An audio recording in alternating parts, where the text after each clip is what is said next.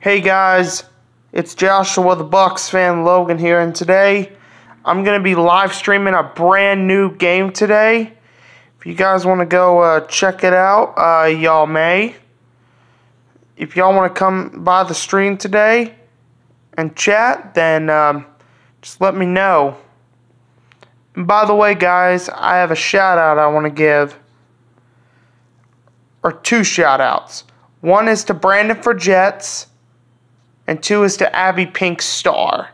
Those are the two shoutouts I want to give. Also, guys, um, when I stream today, right now, guys, my channel has 187 subs.